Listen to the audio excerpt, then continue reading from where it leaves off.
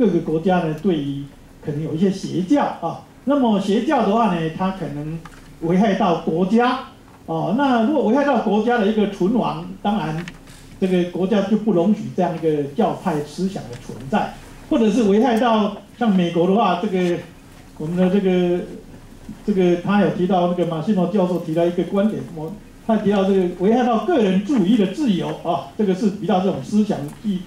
意识形态的问题啊，哎，危害到俄俄罗斯的话，它是危害到他的公正教会，一直说呢，他教会有点独占这个信仰市场啊，他就不愿意有其他的宗教跟他竞争了哈，或者法国的是分离主义，我想分离主义大概也会危害到国家了哈，因为分离主义的话呢，等于是破坏社会的团结和谐，所以大家可以看得出来，呃，这个邪教的这个模式啊，这个可能。就不一定适合于这个所我们这边所谓的公益团体了哈。所以宗教团体呢，是不是有公益呀？这个本身其实还是探讨。在比利时、欧洲国家呢、奥地利，呃呃，这个他把这个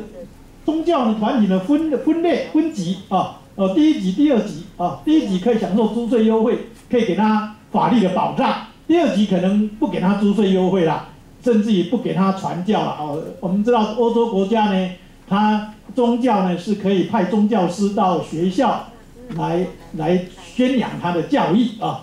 呃，这个上这个宗教的课程哦，上宗教课程。可是呢，第二级的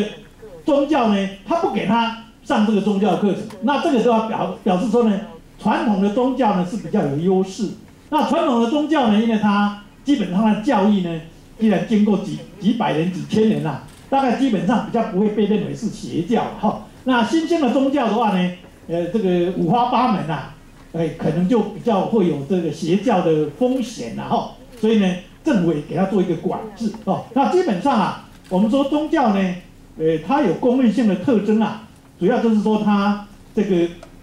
呃，这个西方学者啊，呃，社会学者呢，在我的报告第七页这里哈。他认为宗教有稳定社会的功能，那么表面在表现在四个面向，一个是透过宗教的仪式呢来凝聚凝聚大家啊，成为一个团体啊，可以互相关怀。第二个呢，建构社会的一个基本的伦理道德规范，还有它的一个基本的伦理价值理念。第三个呢，可宗教可以使政政府的权威呢合法化啊，意思说呢，像圣经讲说，国家呢是上帝。所创造的，大家要给他护持，大家要缴税啊，来继续维持这个国家能够永续生存啊。当然，现在比较有争议的，就是说，那这些这些，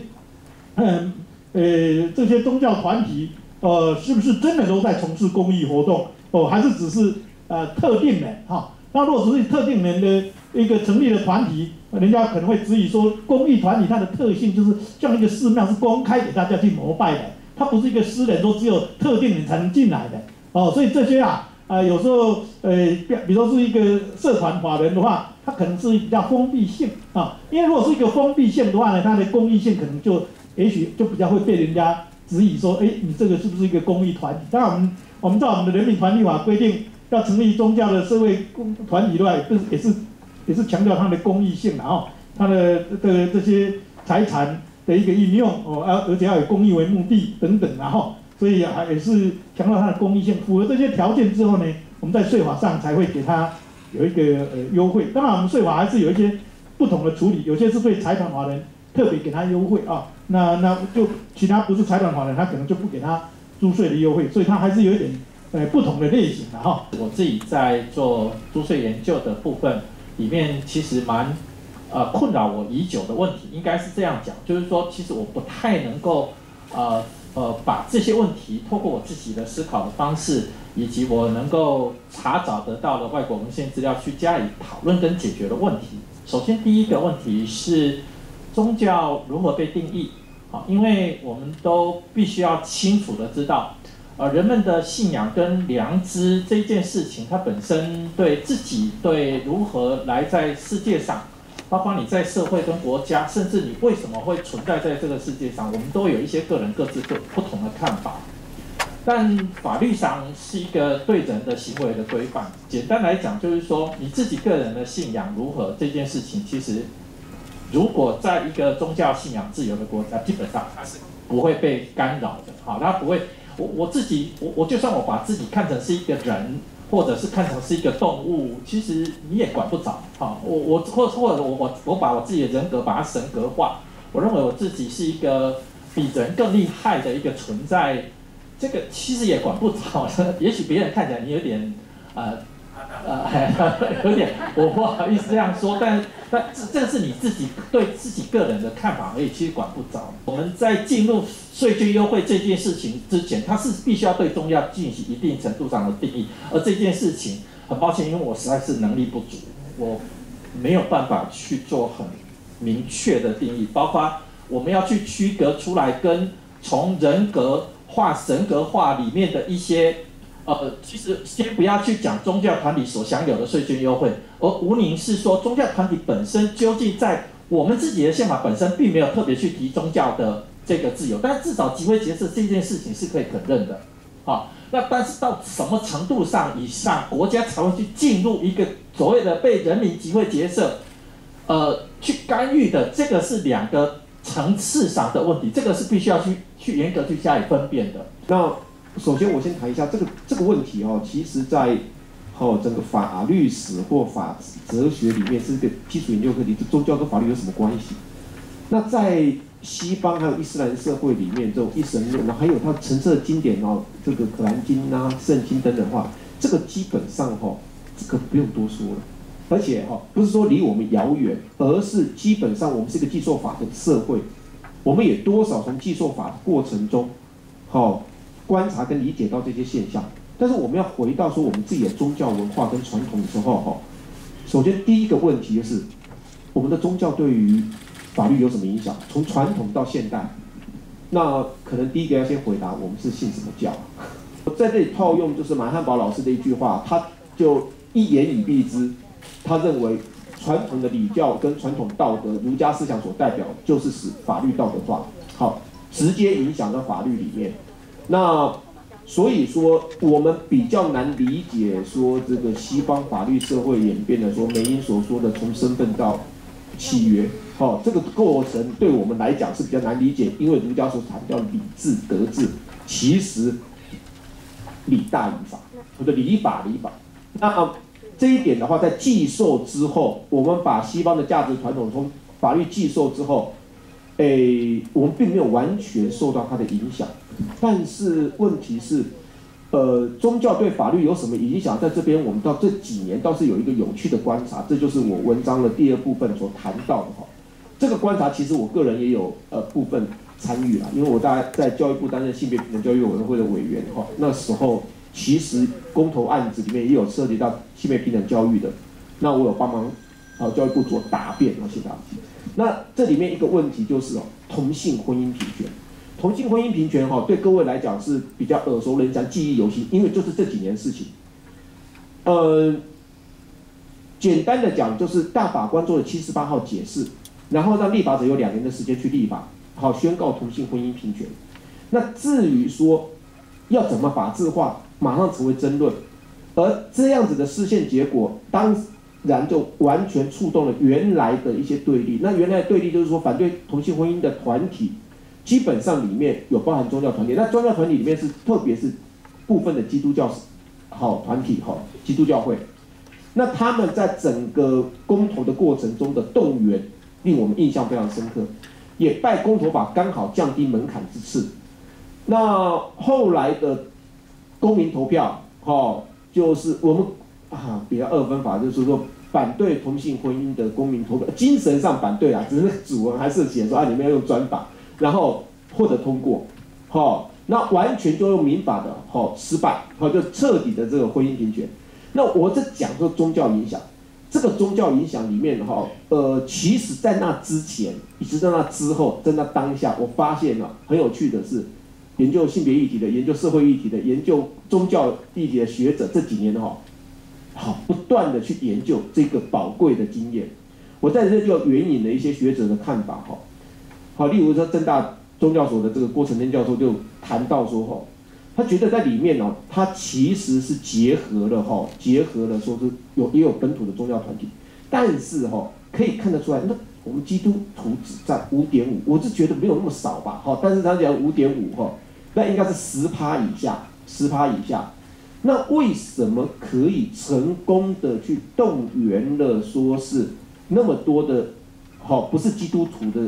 好，呃，不管你是什么信仰，你是佛道、民间信仰或等等这些哈，那更多的可能就是传统道德文化的哈影响，哦，儒家道德文化影响对家庭的诠释，好，他认为很重要一点，包含家庭学的研究，很重要一点就是，呃，他在这部分淡化了宗教的的。道德论述，但是巧妙的与我们原来对于家庭生活乃至于宗族好观念的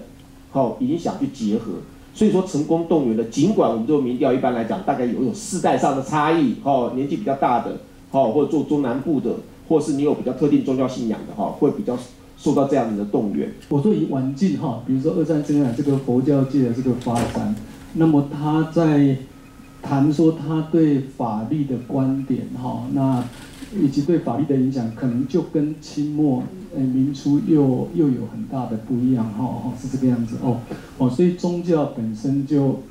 界定上会有困难。那对法律的影响，法律有很多各式各样的法律嘛，哈，好是这样，哈。那么，呃，有有行政法的，有国际贸易的，哈，哈，这个这个就这个，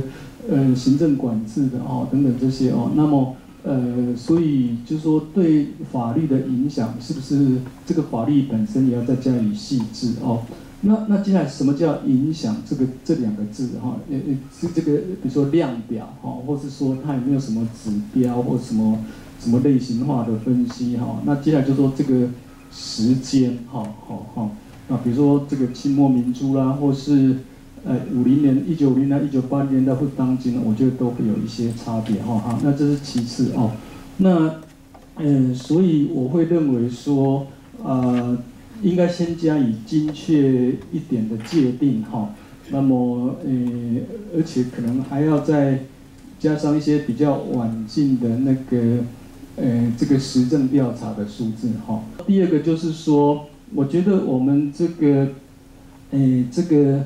呃，有时候就是说，在谈，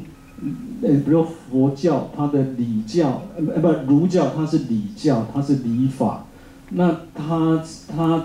对法，它对法，其实际上这个宗教，它对法律的影响，我们要细细谈说，那它的人类图像是什么？它所理解的、所建构的政治体系是一种什么样的？是一种呃，还是蛮这个？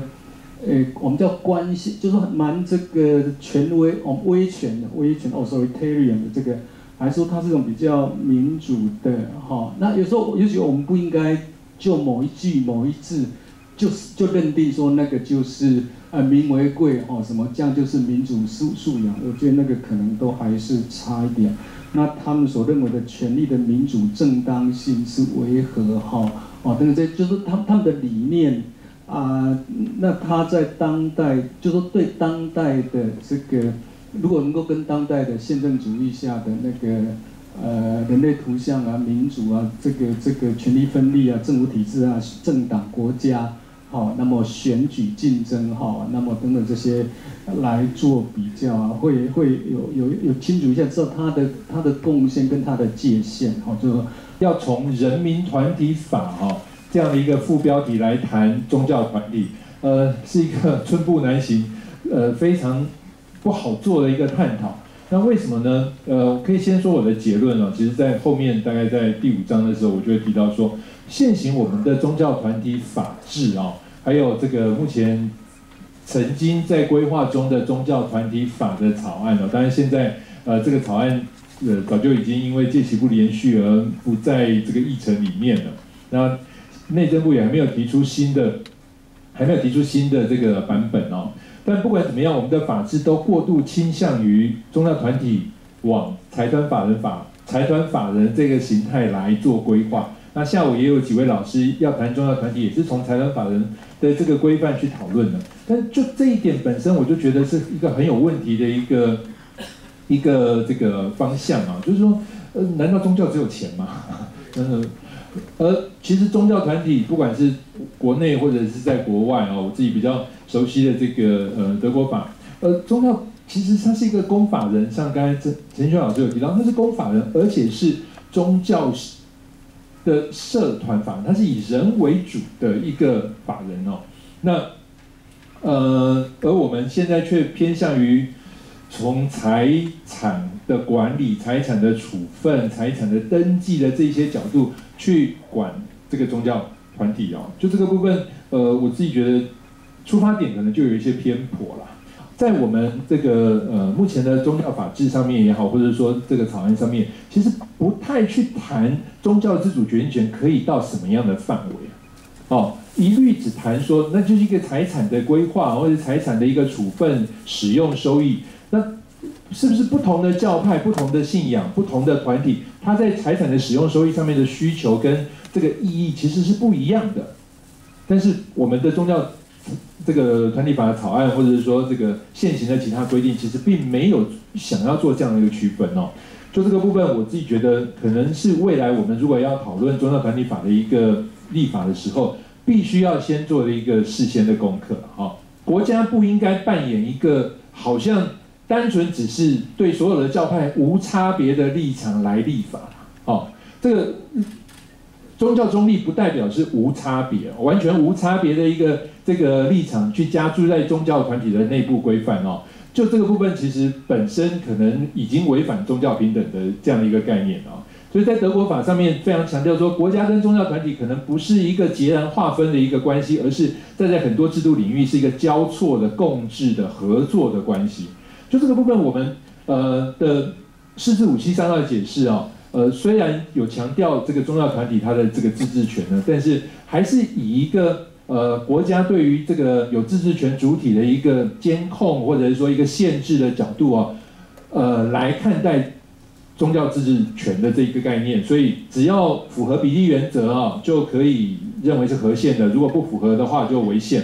那这就有一点这个是以无差别的立场加注在宗教团体上面，而且没有进一步去。去去探讨说，那每个团体它是不是有不同的需求啊？每个团体它在这个自治权的行使上面，是不是有它特别的独特性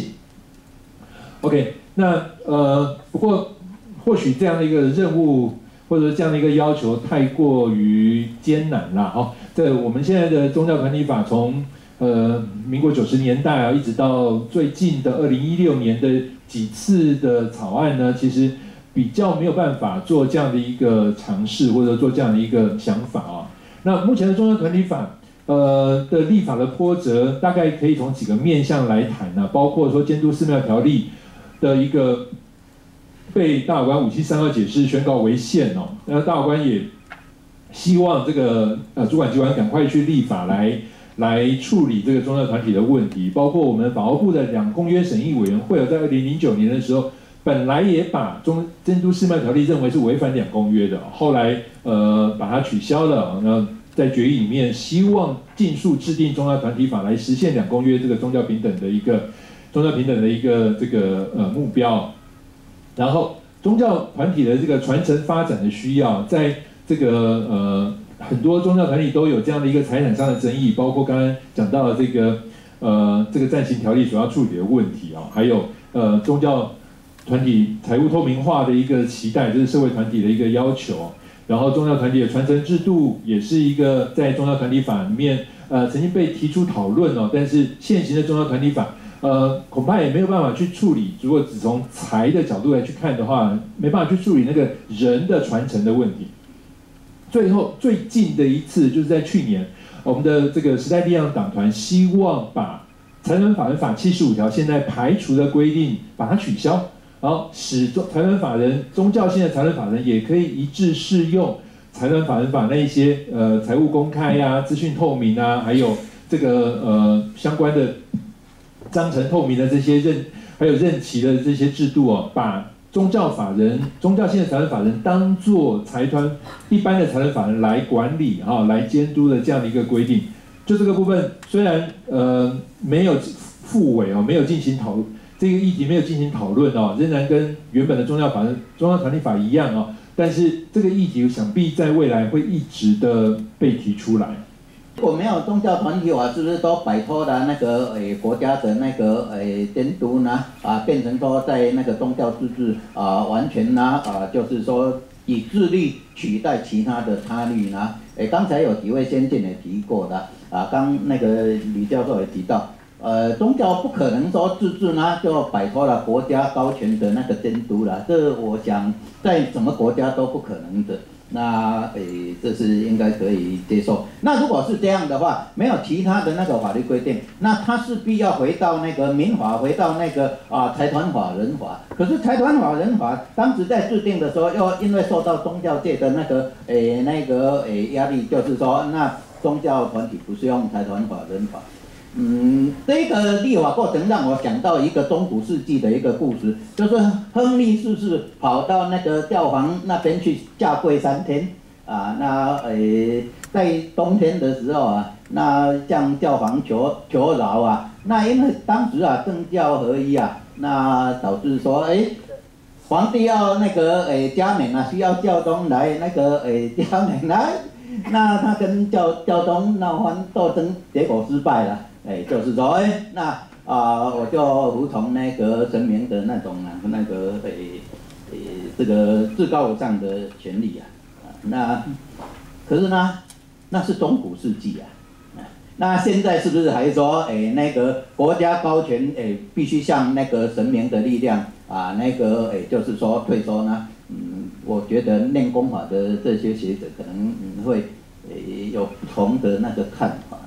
我我个人的看法是说，随时都可以制定，随时都会受到宗教团体的压力。那诶，要不要制定是什么呢？是你那个诶。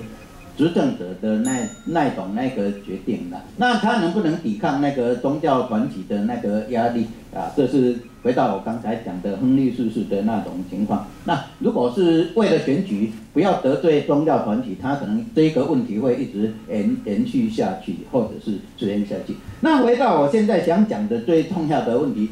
诶，我们要讲那个宗教团体，绝对不能没有那个定义。什么叫宗教团体？这一定是要的的。